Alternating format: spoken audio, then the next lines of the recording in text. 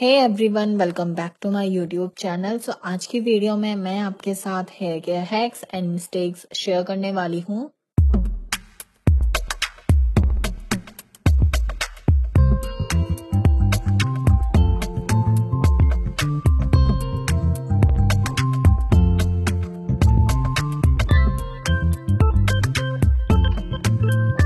First hack is oiling your hair properly मैं mustard oil ले रही हूँ और उसको थोड़ा सा वार्म कर लूँगी एंड देन अपने हेयर की रूट्स पर स्कैल्प पे फिंगर टिप की हेल्प से अप्लाई कर लूँगी। मैं सेक्शन बाय सेक्शन को डिवाइड करके ग्रेजुअली अप्लाई कर लूँगी। आपको वीक में एक बार ऑयलिंग करनी चाहिए समर्स में दो बार एंड विंटर्स में एक बार। अब जब विंटर्स में ऑयलिंग करते हो तो आपको ऑयल पहले वार्म करना चाहिए देन उसे अप्लाई करना चाहिए। ऐसे करने से ब्लड सर्कुलेशन इंक्रीज हो जाता है हेयर ऑयलिंग करने से हेयर ग्रोथ इंप्रूव होती है एंड फ्रीजीनेस कम हो जाती है एंड ड्राइनेस भी कम हो जाती है। हेयर फॉल डैंड्रफ प्रिवेंट होता है एंड हमारा scalp nourish hydrate and healthy रहता है। हेयर ऑयलिंग करने के बाद मैं फाइव टू टेन मिनट तक मसाज करूँगी। मैं हेयर ऑयलिंग के लिए हमेशा मस्टर्ड ऑयल लेती हूँ, क्योंकि इसका कोई साइड इफ़ेक्ट नहीं होता। मस्टर्ड ऑयल बालों को थिक बनाता है, बालों को नरिशमेंट प्रोवाइड करता है एंड हेयर फॉल को रिड्यूस करता है। मसाज करने के बाद मैं बन बना लूँगी और टू टू थ्री आवर के लिए छोड़ दूँगी। आप चाहे तो रात को ऑयलिंग करके सुबह हेयर वॉश कर सकते हो। Second hack is using mild shampoo आप जब भी शैम्पू करते हो तो आपको एक माइल्ड शैम्पू लेना है और उससे शैम्पू करना है। अगर आप रॉन्ग शैम्पू यूज़ करोगे तो आपका स्कैल्प ड्राई फील करने लगेगा। एंड आपके हेयर अनमैनेजेबल हो जाएँगे। माइल्ड शैम्पू आपके हेयर को क्लीन करता है, आपके स्कैल्प को क्लीन करता है without leaving it dry and hair में शाइन को ऐड करता है एंड उनको स्मूथ बनाता है एंड आपके बालों को इंस्टेंटली नरिश करता है। अगर आपका स्कैल्प बहुत ज़्यादा ऑयली है डर्टी है then you can use strong shampoo but वो आपको सिर्फ़ once in a month use करना है। On other days mild shampoo he use करना है। एंड आप विंटर्स में आप जब भी हेयर वॉश करते हो तो आपको गर्म पानी से हेयर वॉश बिल्कुल भी नहीं करना। उससे हेयर फॉल होते हैं एंड स्कैल्प भी ड्राई हो जाता है। Third mistake is intense hair drying हमें टावल को अपने गीले बालों पर रैप करके ज़्यादा देर तक नहीं रखना चाहिए। उसे कुछ मिनट के बाद ही एयर ड्राई होने देना चाहिए। गीले बालों को टॉवल से, जोरों से रब करने से excessive hair loss hair damage हो सकते हैं एंड हेयर फ्रीजी हो सकते हैं।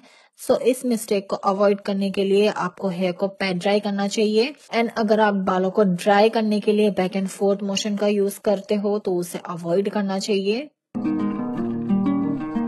फोर्थ मिस्टेक है डेली ब्लो ड्राइंग हेयर को ड्राई करने के लिए आपको ब्लो ड्रायर बहुत कम ही यूज़ करना चाहिए। डेली बेसिस पे अवॉइड करें। बालों को एयर ड्राई होने दें। अगर आप डेली बेसिस पे ब्लो ड्राई यूज़ करोगे तो आपको हेयर का नेचुरल ऑयल खत्म हो जाएगा एंड हेयर फॉल हो जाएँगे हेयर लॉस हो जाएँगे एंड आपके स्कैल्प डिहाइड्रेटेड एंड ड्राई रहेगा। उसकी वजह से आपको डेंड्रफ एंड स्प्लिटन जैसी प्रॉब्लम को फेस करना पड़ेगा।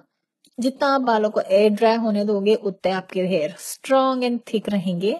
Hair fall and hair damage भी कम होगा एंड स्प्लिट भी कम होंगे। Next mistake is not detangle your hair before shampooing आप जब भी हेयर ऑयलिंग करते हो तो उससे पहले आप अपने हेयर को डिटेंगल कर ले। अदरवाइज़ शैम्पू करने के बाद आपके hair fall and hair loss worse हो जाएँगे। एंड शैम्पू करने के बाद गीले बालों को कॉम नहीं करना चाहिए, क्योंकि जब हम हेयर वॉश करते हैं तो हमारे हेयर वीक हो जाते हैं। एंड अगर हम उन्हें कॉम्ब करेंगे तो हमारे ज़्यादा बाल टूटेंगे। एंड उससे हेयर लॉस का चांसेस इंक्रीज हो जाएगा। जब आपके हेयर ड्राई हो जाए, तब आप कॉम्ब कर सकते हो। नेक्स्ट मिस्टेक है टाइंग योर वेट हेयर आपको गीले बालों को कभी भी टाई नहीं करना चाहिए, क्योंकि ऑलरेडी शैम्पू करने से हमारे हेयर वीक हो जाते हैं। तो आप उन्हें टाइटली टाई करोगे तो वो टूट जाएँगे एंड ड्राई भी हो जाएँगे। आपको बालों को खुला ही रखना चाहिए जब तक वो ड्राई नहीं हो जाते। तो आपको ये मिस्टेक अवॉइड करनी चाहिए एंड अपने बालों को एयर ड्राई होने देना चाहिए। नेक्स्ट मिस्टेक जो हम सब करते हैं वो है एक्सेसिव हीट स्टाइलिंग ये एक कॉमन है मिस्टेक है जो हम सब करते हैं. अगर आप ये मिस्टेक डेली कर रहे हो ऑल्टरनेट डेज़ पे कर रहे हो वीक में तीन बार कर रहे हो तो उसका नेगेटिव इम्पैक्ट आपके बालों पे दिखेगा ही. एक्सेसिव हीट स्टाइलिंग से हमारे हेयर फॉल हो जाते हैं स्प्लिट होते हैं हेयर थिन हो जाते हैं एंड बालों में शाइन कम हो जाती है. तो इस मिस्टेक को आप अवॉइड करें. नेक्स्ट कॉमन है कि mistake is sleeping with open hair अगर आप सोते वक्त बालों को ओपन करके सोते हो तो आप आपको hair breakage and hair fall जैसी प्रॉब्लम को फेस करना पड़ेगा। तो इस प्रॉब्लम को अवॉइड करने के लिए आप लूज ब्रेड बना सकते हो। ये बहुत अच्छा तरीका है hair breakage and split end को डिक्रीज करने का। ये आपके हेयर को टेंगल होने से ब्रेक होने से प्रोटेक्ट करता है अगर आपके बाल लंबे हैं।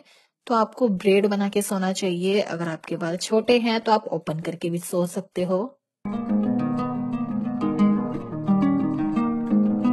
नेक्स्ट मिस्टेक है regularly wearing tight hair style एक ही हेयर स्टाइल है जो हम सब बनाते हैं, वो है हाई पोनी टेल अगर आप टाइट बन बनाते हो या टाइट हाई पोनी टेल बनाते हो, उससे जो हमारी हेयर लाइन होती है, वो धीरे धीरे रिसीड होने लगती है। तो आपको हाई पोनीटेल से लूज पोनीटेल में स्विच करना चाहिए, या फिर आप लूज ब्रेड बना सकते हो, या फिर लूज हेयर स्टाइल बना सकते हो।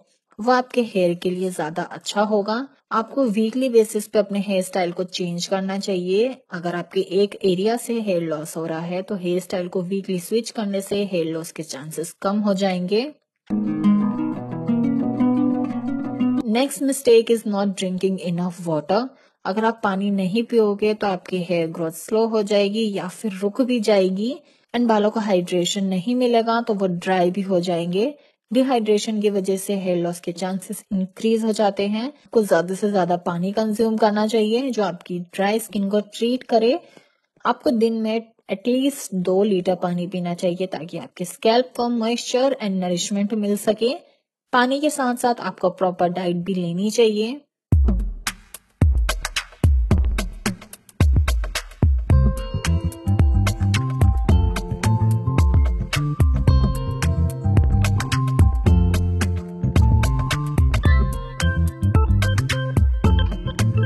अगर आपको मेरी आज की वीडियो अच्छी लगी हो तो लाइक शेयर कमेंट कर देना।